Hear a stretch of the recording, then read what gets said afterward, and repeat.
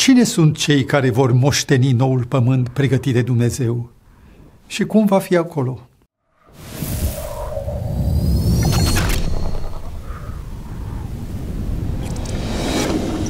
Ca orice istorie, asemeni însăși experienței umane, Apocalipsa se împlinește într-un sfârșit, cu deosebirea că acest final este cu totul altfel, nu unul funebru sau catastrofic, ci unul plin de beatitudine și de o maestate inimaginabilă.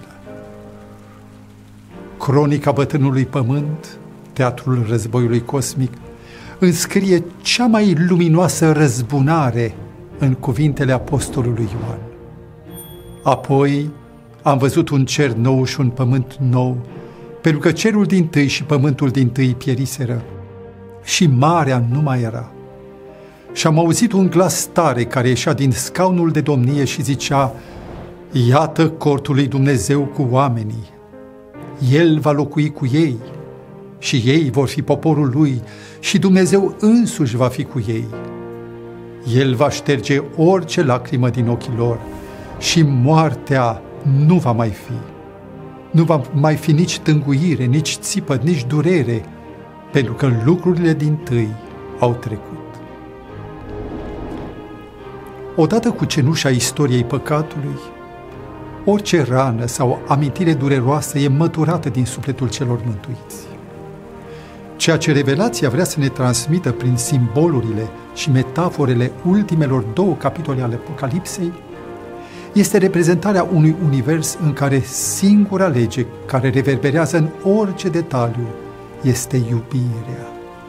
Încearcă să-ți imaginezi o lume în care egoismul, cu tot evantaiul de manifestări, gelozie, înșelăciune, conflicte, competiție oarbă, mânie, violență, război, pur și simplu nu există.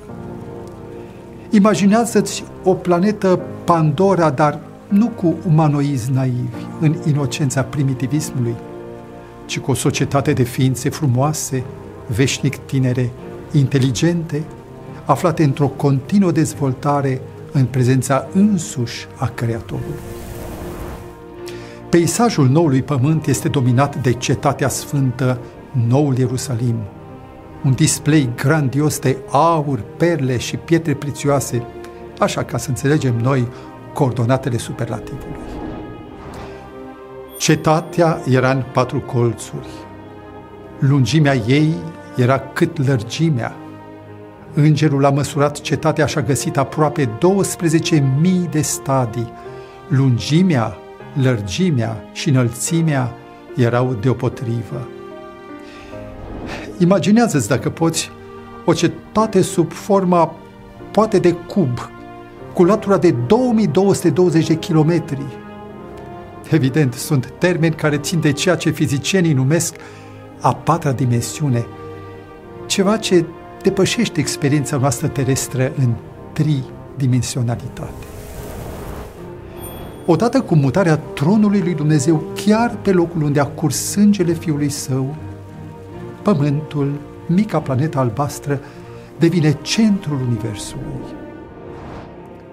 Scaunul de domnia lui Dumnezeu și al mielului vor fi în ea. Robii lui îi vor sluji. Ei vor vedea fața lui și numele lui va fi pe frunțile lor. Acolo nu va mai fi noapte și nu vor mai avea trebuință nici de lampă, nici de lumina soarelui, pentru că Domnul Dumnezeu îi va lumina și vor împărăți în vecii vecilor. Un râu cu apa vieții ieșea din scaunul de domnia lui Dumnezeu și al mielului. În mijlocul pieții cetății acestea și pe cele două maluri ale râului era pomul vieții, rodind 12 feluri de rod și dând rod în fiecare lună. Este pomul vieții din grădina primordială, sursa înnoitoare a nemuririi, acum la îndemâna tuturor. Mai observ și că pomul cunoștinței binelui și răului nu mai apare deloc în peisaj. E normal, căci testul de credincioșie s-a consumat pentru totdeauna. Cine este nedrept, să fie nedrept și mai departe, și cine este sfânt, să se sfințească și mai departe. un lucru mă nedumirește în toată această splendoare, că frunzele pomului slujesc la vindecarea neamurilor. Mă întreb după o înviere în trupuri duhovnicești, nu pământești, cum spune Pavel, oare mai este ceva de vindecat? Dacă logica mea este corectă, învierea nu ne alterează nici identitatea și nici nu ne voalează albumul memoriei. Odată mântuit și în cer, presupun că vor fi regrete pentru ratarea atâtor ocazii care ar fi putut salva și pe alții care lipsesc dintre noi. Vor fi și lacrimi pe care Dumnezeu le va șterge din ochi.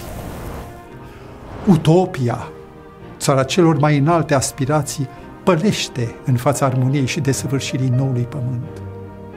Față de inaccesabila utopie, paradisul lui Dumnezeu este deschis oricui îl alege.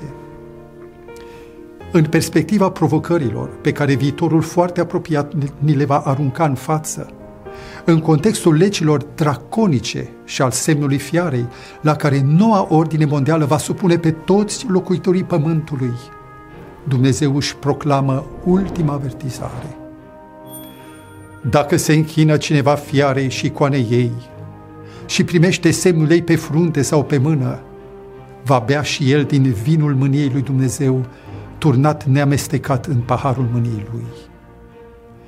Fie că vrem sau nu, fiecare va trebui să aleagă de partea cui va sta în ziua cernerii miza veșniciei este incomensurabilă.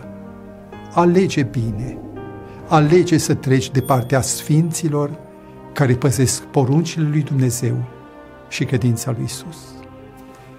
Acesta este ultimul episod din această serie. Însă poți continua călătoria de aprofundare a profețiilor accesând primul link din descriere.